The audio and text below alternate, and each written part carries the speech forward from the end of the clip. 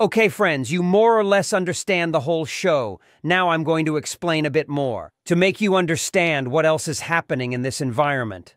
What is the Nini going to do? Declared not guilty at Thursday's hearing in New York before Judge Katherine Polk Failla. He showed up in his khaki uniform and wearing orange crocs, cuffed at his feet, waist, and hands. The prosecution said there was plenty of evidence against Nini and that they would be revealing it little by little as the process advanced. Nini's hearing was attended by his family, it seems. He was represented by the lawyer, Andrew Patil. I'm shocked because the mighty boss of Nini was crying in court. I can't believe it if he's the most powerful, the bravest, the baddest, the one who mocked everyone, the one who was going to run off the Mayito Flaco from Salado, and the one who was going to take on El Russo. And that's. And what else did he say that made the Omega cry? Boasting that his enemies were crying. I don't remember who it was who said he made someone cry. How can it be possible that this young man who neither asked questions nor left anyone alive is a crybaby? You see, it's not the same to kill while tied up. That doesn't mean bravery, nor does swearing a lot on the radio show courage. Learn to be men. And I'm not saying don't cry. I tell them to learn to be men in the sense that they respect. Because this trash also has a family. He and his whole gang love to mess with the family of innocents, but okay, we'll be here, watching to see how this case evolves. I read in an article that it was possible that the Nini would seek an agreement with the authorities to cooperate in the trial against Ovidio, which is impossible. As I said, Ovidio is already cooperating. Waiting and then you will check and confirm it? And also, please don't start making up stuff in your head. Please. The noeste that El Nini is going to court for not cooperating. No, gentlemen, the system works like this. Usually, at the first hearing and the second and third, the defendant normally pleads not guilty. And it's not because he intend to go to trial, but during that time, it is when the defense lawyer and their client are negotiating with the prosecution and is just like a mere procedure, a mere formality. The fact that the defendant says he is not guilty, and I will tell you how it is. In fact, many times, even if they go to court and plead not guilty, they are already cooperating with the prosecution, but they just haven't signed the plea agreement. When this is signed is when it all becomes official. But for more practical purposes, cooperation is already happening unofficially. And that's how it can last months or years and be cooperating. And to the public eye, the accused is not cooperating because he has not pleaded guilty. Because in court, he has not pleaded guilty. But behind the scenes, the accused has been cooperating for a long time. Just like Ovidio is making it look right now that he's going to court. Because that's how the system works. There has to be a cutoff date to see how the case is going. And what do both sides say? Because they are asking the prosecutor and the defense attorney for more time. But it's just so that the rest of the people, that is, the general public, won't know that Ovidio or any accused person is cooperating. And so they give him more opportunity to either bring in more people or to gather more information. Because if the news broke that Ovidio pleaded guilty, then people would get scared and turn away. Because they are going to say, it's going to set me up or something like that. That's how it is. It's simply a strategy. That's what we can call it a strategy. So, with Nini, you'll see he will go back to court and will still plead not guilty. Why? Because, as I told you, it's a strategy and it's a procedure. And the lawyers come out saying, My client does not plan to cooperate with the government, does not intend to talk about his brothers or his bosses. And I tell you this because I saw it last year in a case in Chicago. What was that about? It was all lies from those deceitful lawyers. In my opinion, Nini will definitely cooperate. Most people don't know him, but I do have very close friends to his family, and that they were also very close to him and have known him for many years. The Nini, as I already told you and had told you, he is a human being just like you and like me. Of course, riding in an armored vehicle with 300 people protecting him, he'll feel very brave and claim he's the best, that he's faithful and loyal. But look at the photos they posted of him. That man does not look terrifying, not at all. But it's like that.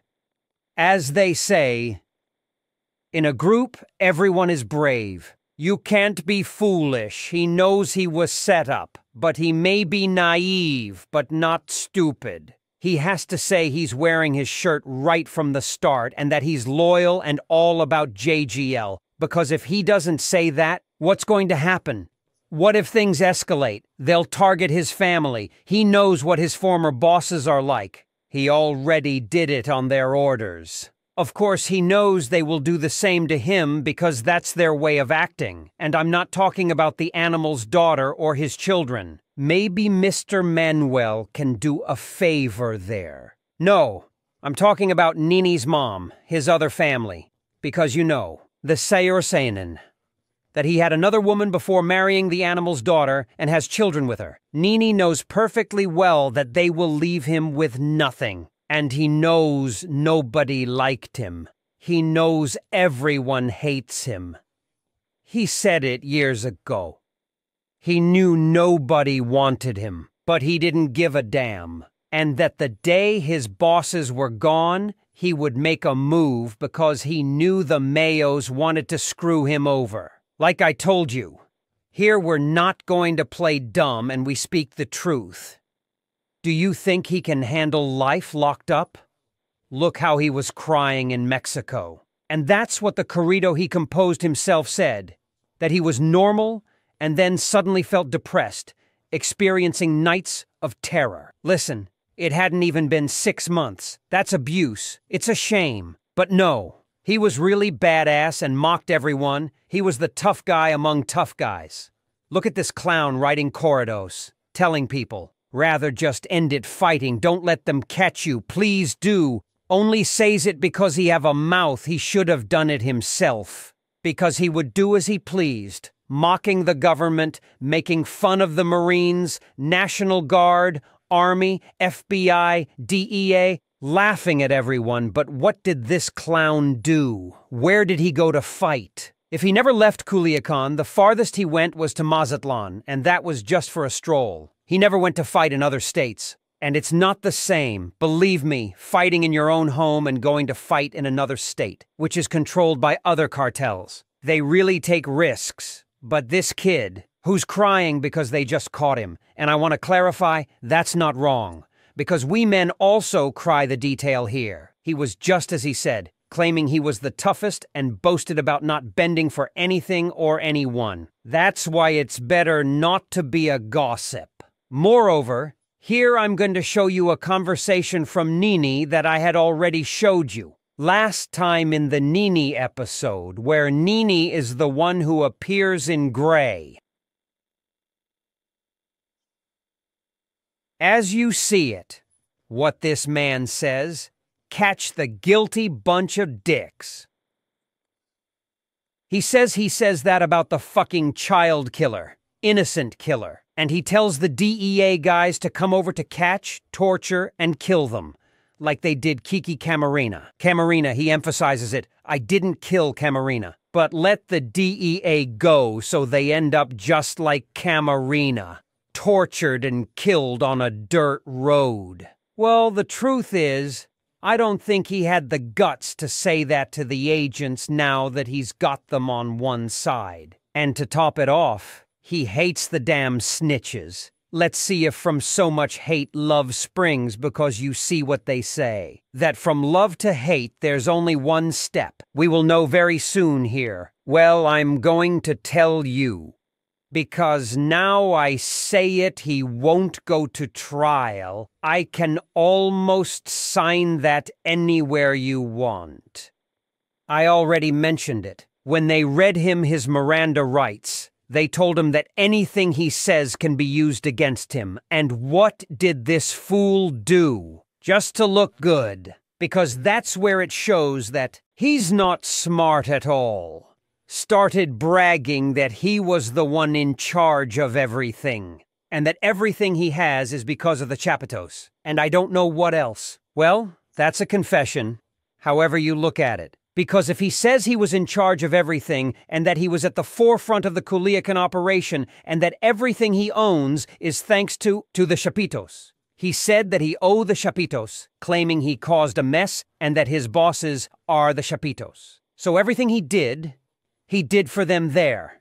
He's already talking about himself, and he's fully incriminating himself already. Because believe me, they use all that. From there, you already have Nini's testimony confessing things and making an involuntary accusation against the Chapitos, who no longer accusations, really, because they already have more than enough, but all right, from Nini, they have thousands of photos, videos, conversations, audio recordings of Nini because the social media guy loved to record everything and liked talking. He was very communicative. Well, all that's great for the American security agencies, because it's all evidence. Well, and who would be the witnesses to testify against Nini? If he decide to go to trial, the first on the list is his former boss, Ovidio Guzman, because he is the one who ordered him to do many things and knows all his misdeeds towards Nini. Another one, you know, the Menelik, that's another one who really knows stuff about him, and I supposed would be delighted to meet him face to face. Another one, also Mayito Gordo, because he knows a lot about Nini. Another on this list, Cholo Ivan, because he also had to know several things about Nini. And since he was a gunman just like him, but now he's from the team that's cooperating with the government even if they won't admit it. Also, Humberto, one who was arrested in Sinaloa and was just extradited to Arizona a short while ago, accused of fentanyl as well, and how to leave aside the American citizen who he kidnapped along with the child and those from Tamazula, but they did let her go. There are enough witnesses to sink him for life. But as I say, I can almost bet he will plead guilty and will cooperate with the prosecution. Since Nini, he knows he was betrayed, and like we all have noticed, he can't handle the pressure. As we previously discussed, when he has been crying, and also has Manuel Fernandez, the father in law, as an advisor, who has been sending messages saying it's not worth it to spend a lifetime locked up there in jail, sending weepy letters to the judge. As you may well remember, Manuel Fernandez testified in the Chicago court against his former collaborator Jesus Raul Beltran Leon, the Clover or Chuy Raul, who was sentenced to 28 years in prison. What's my prediction? I think they're going to collaborate.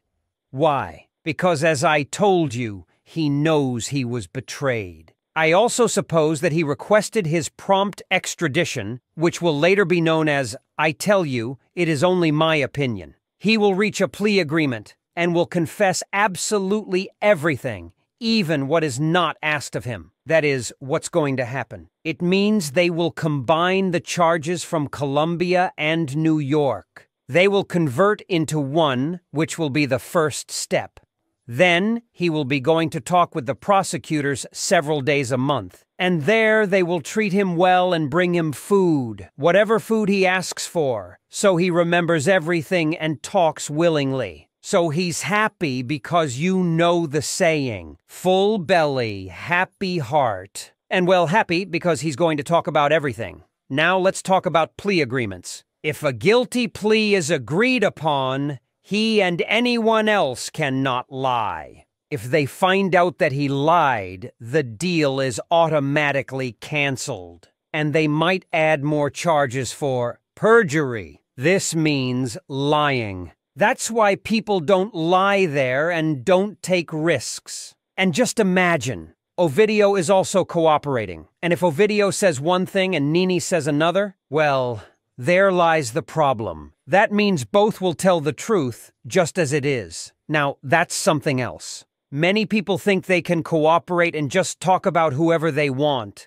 It doesn't work like that. Gentlemen, you are very mistaken. It's not usually like this, for example. For instance, if the government wants information on Luis, Juan, and Andres, and you only talk about Luis and Juan, not Andres, there the plea deal also breaks down. And this is for those who say, I'm telling you! For instance, that Ovidio will only talk about other people and not his brothers. Absolutely and definitely not like that. If the prosecution asks about his siblings, Ovidio has to say everything about his siblings. Otherwise, they won't respect the plea agreement and will give him life in prison.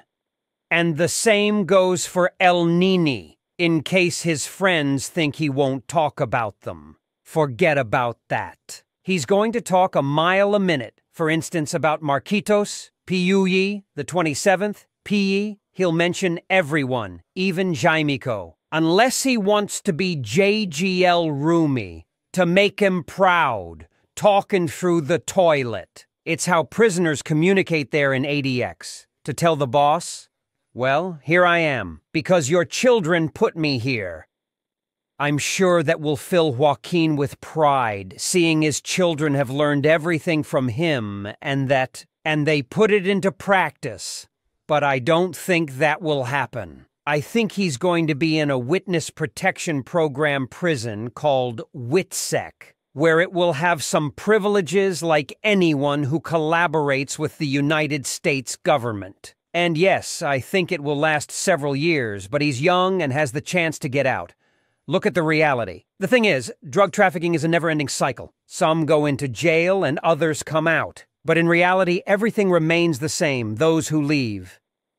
They do it because they end up working with the government giving information about others to reduce their own sentences.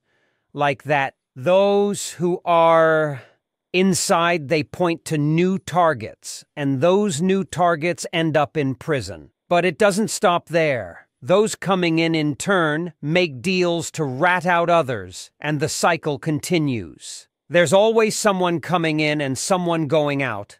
The chain never breaks because there's always someone ready to take someone else's place. In the end, it seems it doesn't matter. No matter how many are caught or collaborate, the system keeps turning, and the drug trade moves forward as if nothing can stop it. So now you know I think the S9 will indeed manage to be like his idol, the Chino Anthrax. Will continue following his footsteps, First, they did it on social media, and now they will do it by collaborating with the government. I'm telling you. This is because I read many comments saying the Chino did not cooperate, please. If you don't know, better not speak. Of course, he cooperated. That's why he got out and got less than 10 years. I mean, less than the minimum sentence. So the S9, I think, will take the same path. And do you remember when Nini was fighting with Ponchito over the radio? I'm going to play an audio that I think it's aimed at the one with the initials tattooed on his leg. Listen to it.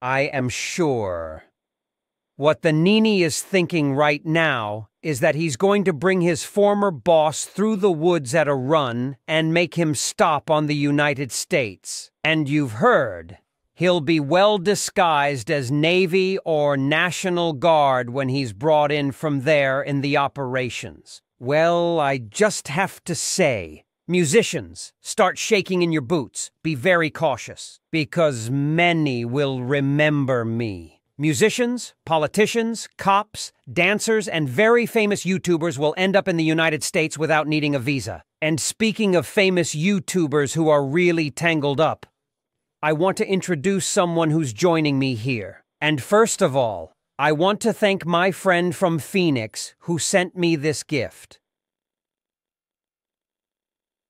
It will be Ocran Leaks' new pet. It's the tiger whose balls will be scratching, as he says. And if you don't like it, well, April and Mayo. Because if not, I will send the 53,000 trucks I have, so get ready. I was thinking of naming it Cameline or Camialucine, but the final say is with my dear audience. And I want you to put the names in the comments so that the most voted and the most eye-catching one, that's what the Ocran mascot will be called. Because you know we help everyone out by giving them advertising as he likes. He also gives us publicity.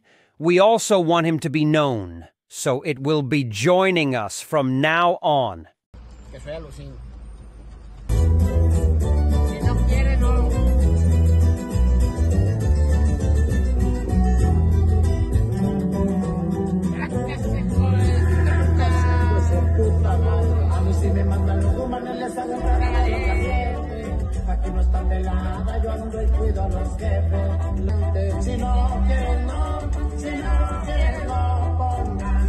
Well, you've seen it, folks, as the other guy would say. So don't get tangled up because the 53 trucks will fall on you. From Little Camille? I hope you liked this episode. I did it very hastily because of the extradition thing, and I had nothing planned about it. I was going to introduce another episode, but well, here I've done what I could so you can know a bit more about how this process works. If you have any questions or things you'd like to know, leave them in the comments to keep introducing episodes to inform you too. I say goodbye with a hug for all of you. Hopefully, everything has been made clear to you. And also that you had a little laugh because that's what life is about having fun, chilling out, and smiling. And take good care. See you in the next episode. You know, the one and only true narrative of the Ocran world. You'll only find it here with your friend Ocran and Cameline. Cheers.